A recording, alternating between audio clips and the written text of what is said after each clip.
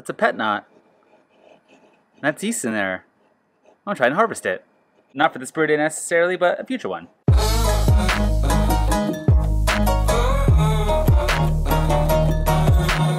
Today, I'm doing a beer de garde.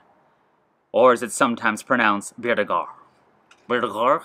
Nailed it. Uh, this is a uh, French ale in the northern region of France, and literally the meaning is a beer for keeping. Back in the day, it was brewed in uh, the you know early winter, sometimes in spring, because it could ferment uh, without wild bacteria getting in during the hot summer months. So by doing it that early, they could get cleaner fermentations without uh, yeah souring basically, or getting weird Brett or other off flavors in there.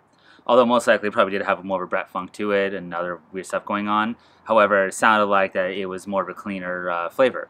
So what they would do is they'd age this, and then they would uh, drink it in summer months for the farmers and stuff like that. It's actually very similar to a saison, and a saison was brewed uh, in a very similar manner and aged again in a very similar way. Uh, but over time, that uh, separated, and the the Belgians favored the you know more phenolic, uh, clovey like thing that happens with uh, saisons, and the French prefer more the cleaner flavor. And in fact, the French would use like lager strains, and stuff like that that they would get from Germans, and so their brewing practices tended to be a little bit uh, more on the German side, if, any, if anything. And the bières de garde were more a little higher in alcohol, generally speaking, and maybe a little darker.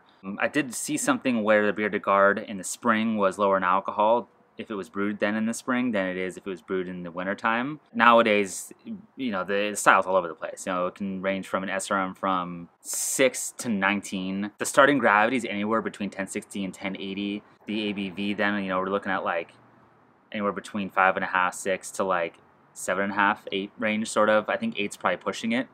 But uh, no, that's definitely the ballpark. And your IBUs, you're looking at like 18 to about 30. And 30 is like pretty much the max. Today, uh, I'm following those parameters pretty much. Uh, I'm going a little higher on ABV. I'm going around 7%. My OG is going to be about 1072. That's what I'm going for at least. Uh, my IBUs are around 27-ish range. You know, my SRM is going to be a little lighter, closer to 10. I want to be a little lighter on this because I wanted that like golden sort of look to it and I do plan on aging this. So uh, I'm brewing it now. It's May, late May, and I want this to be done and ready to drink by next fall. Uh, sort of a weird opposite time for how they did it back in the day when they wanted to drink it for summer. But uh, you know, my fermentation temps, I can keep it exactly the way I want, so it doesn't matter for me. Uh, and I like something you know, a little heavier, a little more maltier uh, that you know could be ready for the fall. The grain profile is Belgian Pilsner, Munich 10, aromatic malt, and acid malt. And my acid malt's like 7.5% because I'm doing a no sparge. I'm doing a no sparge again. I did it last brew day, and I just want to see what I get out of it. I bumped up everything a little bit this time, and I'm cutting my mash water in half with distilled water, so that should get my pH range to where I want it to get to. The hops I'm using is Mount Hood and Spalt. And the yeast for this, I actually wanted to use a White Labs yeast, which is a French ale yeast. It's a WLP 072. They didn't have it at the homebrew store. So I almost went with the Kolsch yeast because that was not necessarily off to the old style they were doing. So I really didn't want this to be too phenolic. I didn't want it to be too clovey. So I opted for the WLP 011 and it's an English strain, and supposedly has a cleaner flavor to it. You know, I'm not going to get any of the, the phenols or any of the things like that. So what I'm going to do is I'm going to uh, ferment this normal normal way for two weeks, and I'm in the low 60s, mid 60s range. Then I'm going to basically lager it for a month, then bottle it, and then let it sit for another month or two. So ideally, yeah, again, this should be about three or four months, and it should be good, and it should be drinkable on paper, but paper is very flammable. Uh, but regardless, let's do this.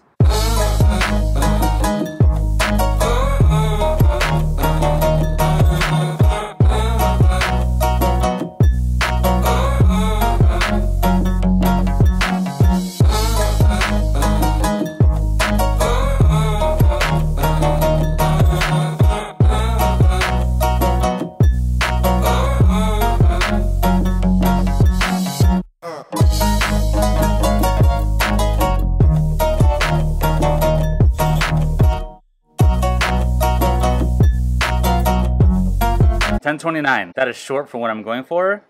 That's okay though. Not a big deal. I estimated this to be a little bit shorter. Uh, I got 65% efficiency last time I did this, and this time I'm like at 60. I calculated for 63. Uh, so that's okay. I bumped the grain profile a little bit to compensate. Probably got to do a little bit more. I might get some swings with my efficiency doing the no sparge, and I expected that. So I'll do it a third time for my next brew day and kind of see where I get out of that. And uh, hopefully I can get some sort of consistency going here. I'll go a little hard extra on the boil here. And if I'm a little below my uh, 0.75 finishing uh, gallons, no big deal. A little less beer. I'm okay though.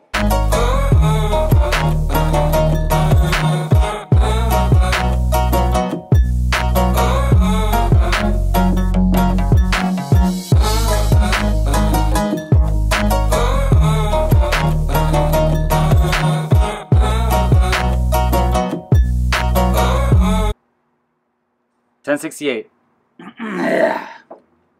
okay, got where I wanted. I didn't film it, but I did have to add some DME to this. Uh, my efficiency was a lot lower than uh, I was expecting. I know I said it started at, what was it, 1029? So even at 1029, I had to do a 75 minute boil and add 3 ounces of DME for my, well, 0.75 gallon batch. Kind of shitty. Uh, I forgot that I had uh, to do a 75 minute boil on this. I had it in my mind to do 60. Last time I did this, I had to do a 75 minute boil. I should have just noticed that, that I had to do that. I should have boiled for 15 minutes first, then did my hop addition. Um, still, I still would have been short. I think I still would have been in like in a 1057, 1060 range. So yeah, I'm gonna try this again um, and uh, see what happens. But it's all right. I got what I wanted in the end, and yeah, so uh, all good.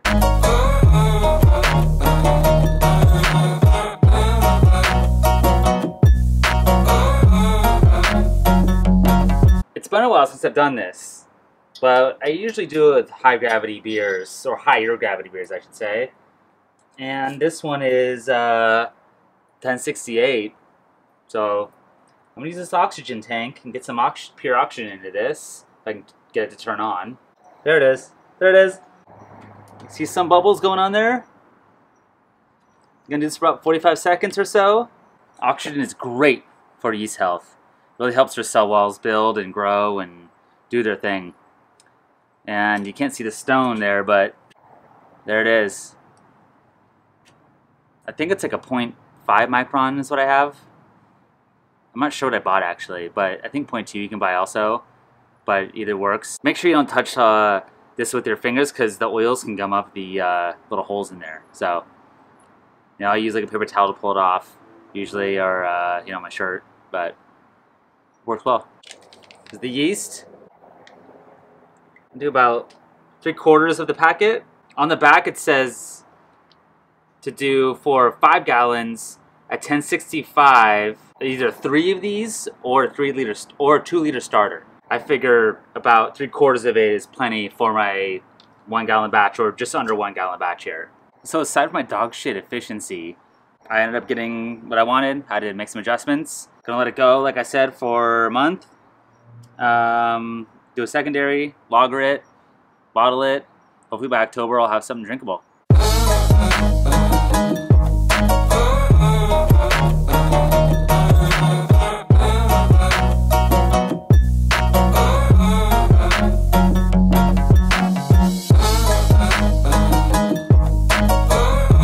Aside from my dogfish, what?